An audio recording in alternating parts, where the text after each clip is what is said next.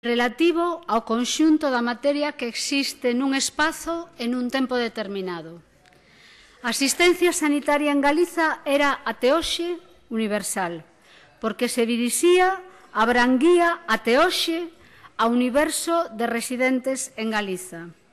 Hoxe o portavoz do Partido Popular tentou explicar que os residentes non son residentes até que levan sendo residentes seis meses o misterio da Santísima Trinidade. Nos piden que fagamos profesión de fe dunha universalidade que non é universal porque exclúe a parte do universo.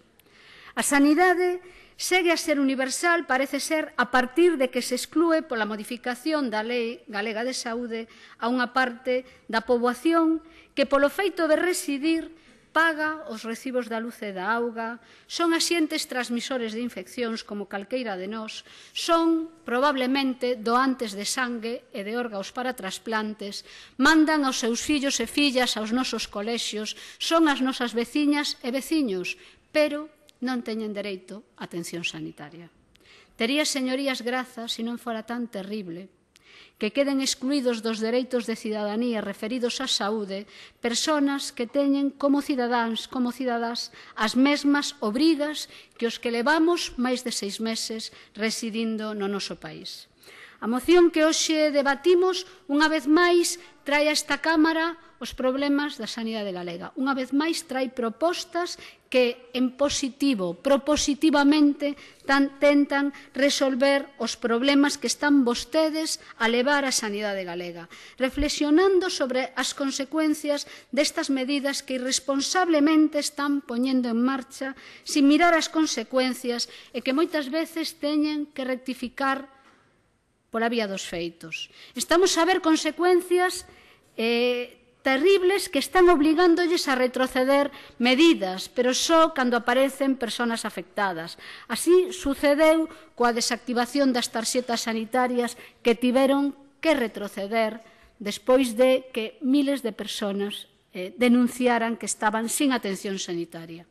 Hai uns días, a Asociación Pro Sanidade Digna de Ourense denunciaba os horarios, o recorte dos horarios de atención dos centros de saúde de algúns concellos do rural pola decisión da Consellería de contratar o personal dos centros de saúde só en media xornada. Rectificaron e volveron a contratalos, pero por qué? Non por esta denuncia, señorías, senón porque se deu un caso dunha persona que un horario no que supostamente o centro de saúde tiña que estar aberto, chegou cunha enfermidade grave e non había ali ninguén que o atendera. Inmediatamente a xerencia tivo que volver a contratar as persoas e restaurar os contratos a xornada completa. Oxe mesmo vemos na prensa un brote de sarna que se inicia o 3 de novembro e que a día de hoxe non está claro que estea controlado e que afecta a 50 persoas. Os profesionais achacan este problema, este problema que parece que falamos doutra época e, dende logo, doutro continente, verdade? Pois achacan este problema a falta de medios. Parece ser que é un luxo tirar as luvas co contacto con cada doente ou cambiar a bata máis dunha vez ao día cando se trata con doentes infecciosos. Parece ser que son despilfarros, pero non, señorías son medidas de seguridade. E cando esa súa austeridade fai que se recorten medidas de seguridade sanitaria, temos as consecuencias que temos irresponsabilidade. Supoño que tamén neste recorte non lles quedará máis remedio que rectificar. A eliminación do dereito universal á asistencia sanitaria ou a exclusión do dereito de parte da poboación non é só unha inxustiza, é tamén un problema pode provocar graves problemas de saúde pública que van ter que rectificar pola vía dos feitos, cando se lles veoten en riba os feitos. Instámolos con esta iniciativa congruentemente coa nosa oposición no debate da interpelación, congruentemente tamén coas emendas e o discurso que mantivemos no debate orzamentario a restaurar, señorías, a garantía formal dos dereitos sanitarios para toda a poboación galega.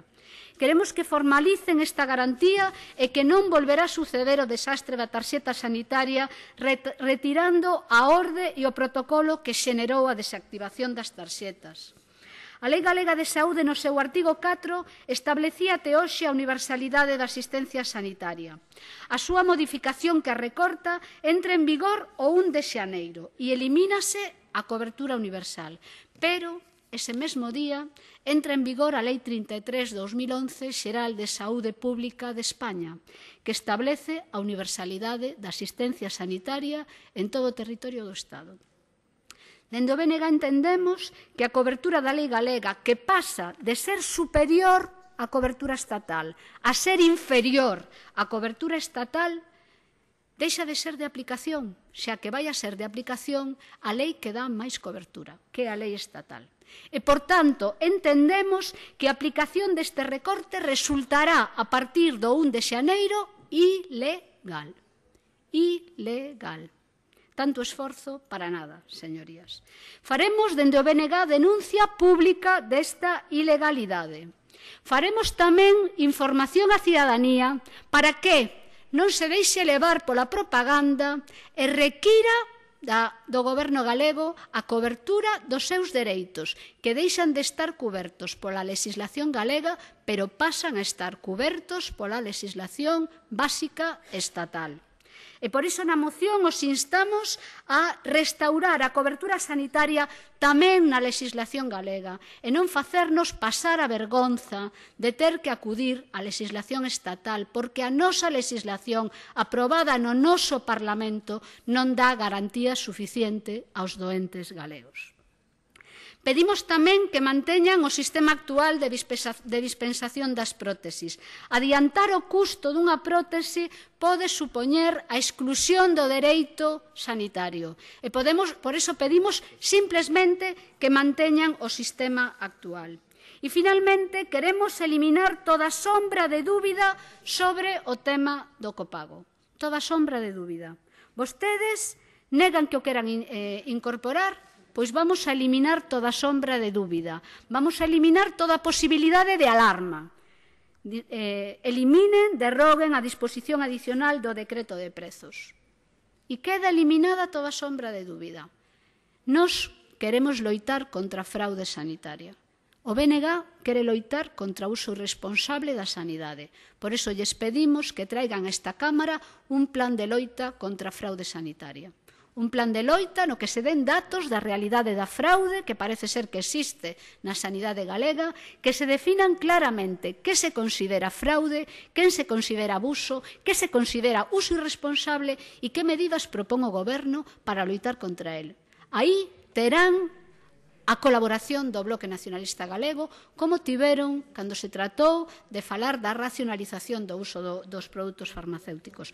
Fagan unha proposta concreta e aí terán a nosa colaboración. Pero, señorías, non seremos cómplices, non serviremos de coartada para esa súa austeridade colectiva que agora xa sabemos e xa sabe a cidadanía a quen se dirixe. Se dirixe a xente que máis necesita do seu apoio, a xente que máis necesita, necesita da cobertura do goberno galego.